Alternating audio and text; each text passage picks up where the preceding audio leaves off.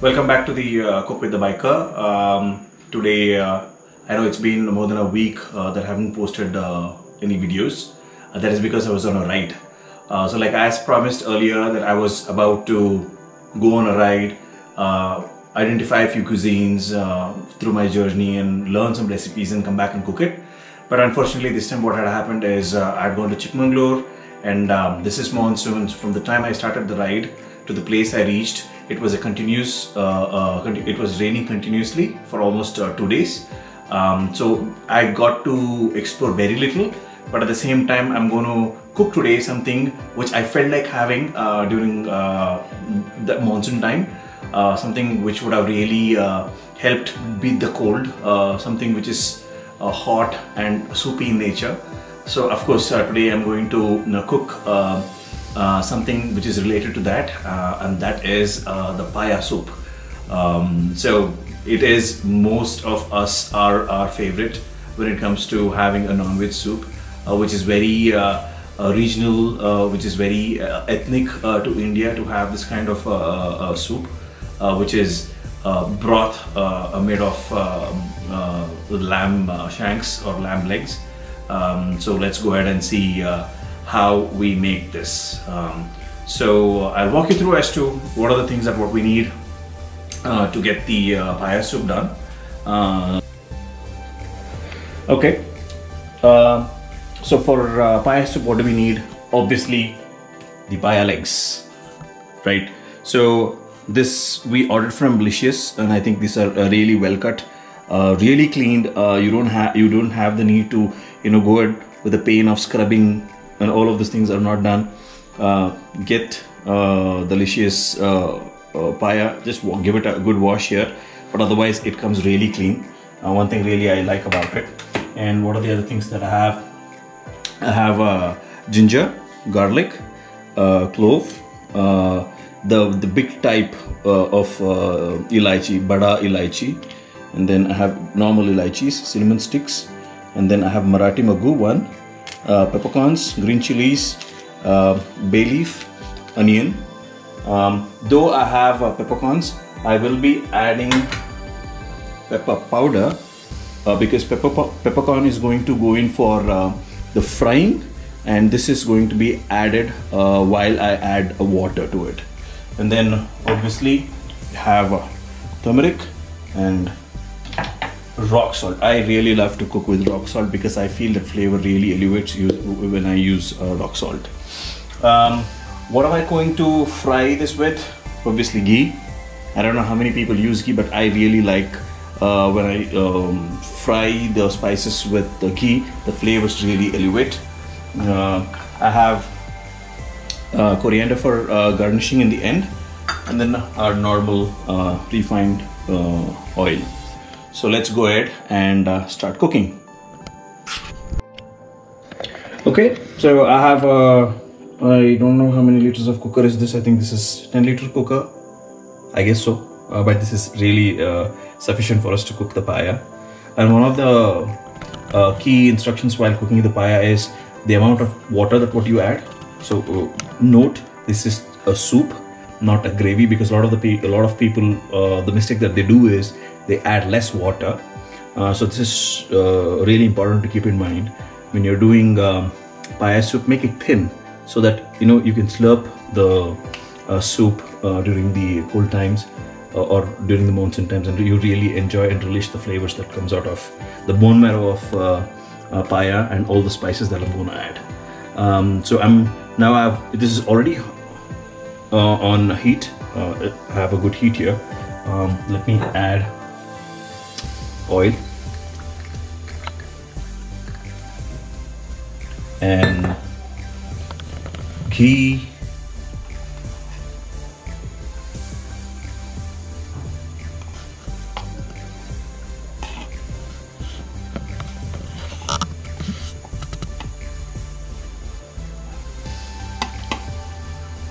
and I'll wait for it to heat up a bit.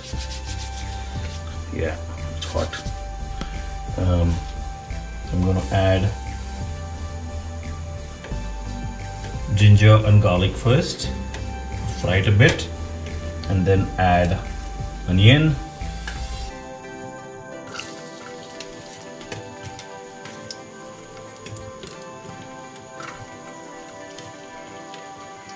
Or rather, first I'll add ginger garlic, then add all the dry spices, and in the end, I'll add the onion.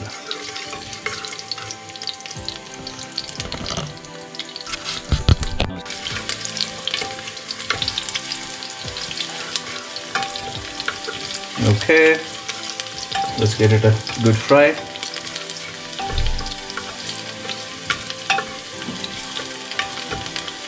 The aroma when you that you get when you fry ginger and garlic both together, uh, it's so uh, relishing. It really makes you hungry uh, right away. Something to it. Um, so, uh, it it really elevates your hunger and wanting to have good food. I think this is one of those starter kind of things uh, for your nostrils and having to build the appetite or the urge to have something really tasty. Okay, uh, this is fried really good. I'm gonna add bay leaf, cinnamon stick, pecans, elaichi, bada elaichi and marathi clove, and I'm gonna add peppercorns now. Peppercorns. Right a bit. Let let all the spices kind of get off a get a medium uh, fry and uh, the fragrance and the aroma spread into the uh, ghee. Yeah it's nice fragrance that I can smell. Okay I'm gonna add green chilies. Right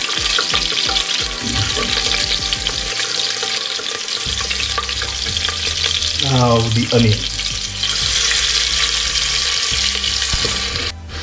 Okay. Now I'm gonna add turmeric.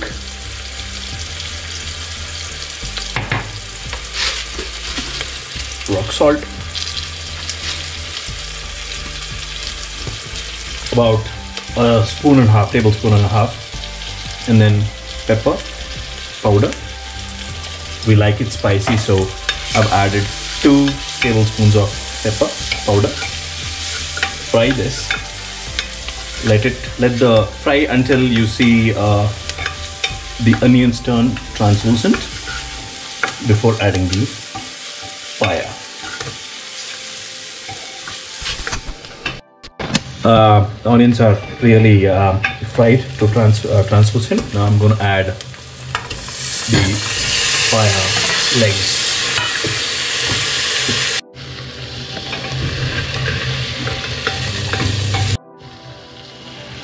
fry the uh, paya into the mixture of all the spices and uh, garlic. So as we are uh, frying the uh, paya legs or paya pieces, the moisture is uh, kind of, um, I mean, the paya legs are letting out moisture, which is good. Um, a little more about another 30 seconds of uh, cooking or frying. Um, I'll be adding uh, 2 liters of uh, water. So this is 1 liter of water which I have measured. Um, I'm going to add in about just a few seconds. I'm just going to give it a good stir okay. Yeah I can smell the kind of uh, being kind of fr uh, fried and cooked. You can get the fragrance now I'm going to add the water. This is one liter. So I'm adding uh, a bit more. Um, also be mindful of your cooker's capacity. Since my cooker's capacity is not much I'm just going to add one and a half liters of uh, water. Um, I'll get this to good boiling and then um, put this onto the pressure. I'll, I'll, close the lid and um, on high flame at, at least for first two whistles and from there on put the stove on simmer slow cook it for at least 8 to 9 uh, whistles um, so that the more bone marrow really kind of comes out um, and the texture of the uh, lamb is really soft and it should be like literally buttery. When you touch it the flesh should disintegrate from the bone. And if you have time you can even slow cook to the further stage of having the bone really brittle and soft. But since we have less time as I'm preparing this for uh, dinner I'm going to keep it cook for at least 20 to 30 minutes on uh, low uh, uh, flame uh, on pressure cooker. So after um, many whistles we have our paya ready. And look at this.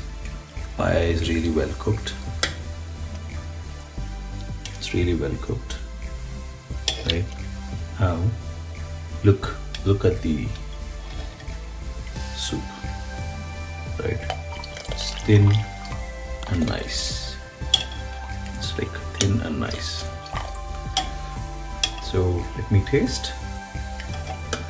And then I'll add this to a soup bowl and see how it turns out to be. One last step, after tasting I'm just going to add coriander.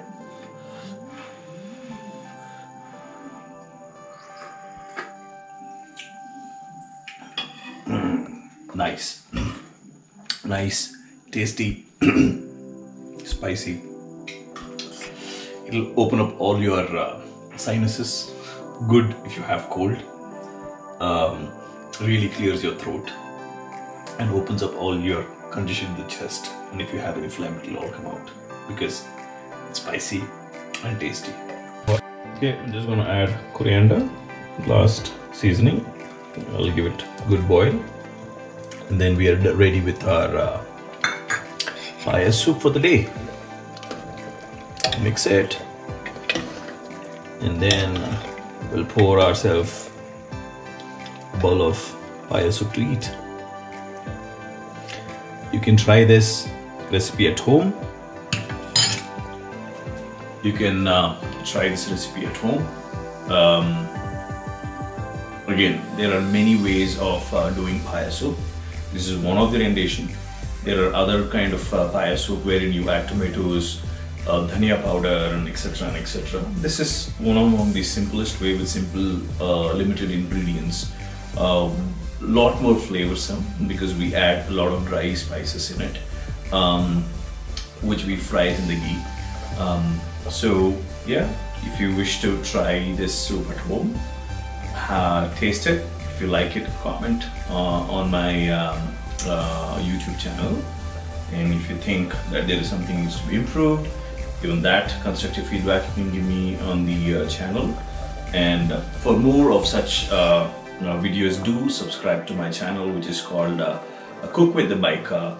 And um, one of the vision like I always say is I want to uh, since I travel a lot now as I'm a rider uh, I visit a lot of places wherein I understand their cuisine and try and um, replicate, not replicate necessarily, try and recreate the same uh, flavors and taste with a bit of uh, additional uh, flavors of my own, which is very uh, personal to me. Um, but otherwise, uh, yeah, uh, once when this COVID and everything is over and this monsoon is over, I should be able to travel more um, and get a lot more um, uh, videos uh, of cooking and flavors in place. Um, the recent uh, Chikmagalur trip, um, I was really hoping that you know I'll be able to bring about some new uh, cuisines that I or uh, dishes that I learned from there. But then it was um, continuous rain and I was not able to step out. And then Chikmagalur is infested with leeches, and I'm really, really allergic to leeches. So I got myself locked up into the room enjoyed the vacation though, or the ride, but then uh, the, the main purpose of uh, uh, understanding their um, cooking, I didn't, I was not able to accomplish that though. Um, but yes, we are still here now. Slowly, the um, the borders are opening, and we are a little more open to traveling. So yes, uh, you will see a lot more uh, videos coming up, travel videos, wherein I'm going to Uh, capture a little bit of my bike ride, and then of course cooking. Thank you.